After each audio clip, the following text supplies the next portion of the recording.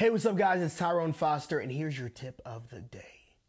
Guys, these previous peaks, you got to understand about breakout trades.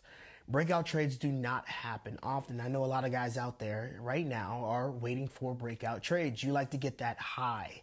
Oh my God, I caught the breakout trade. Guys, it's not about that. You want to get what's yours.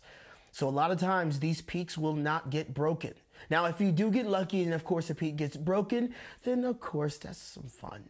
But you got to understand your money's on the line here. So guys, I want you to trade to near the previous peak. If they break out, then that's something different, which of course I need to see you in VKU to learn what that signature trade is.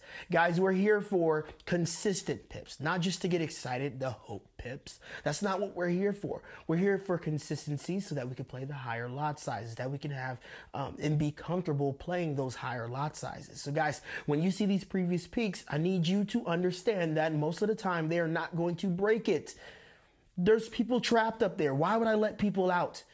Why? Think think about that. They're here to take money.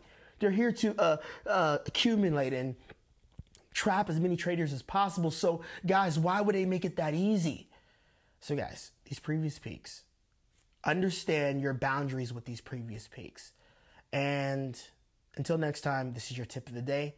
Watch out for these peaks and stop trying to take these breakout trades. Think about it. How many times have you lost trying to take a breakout trade?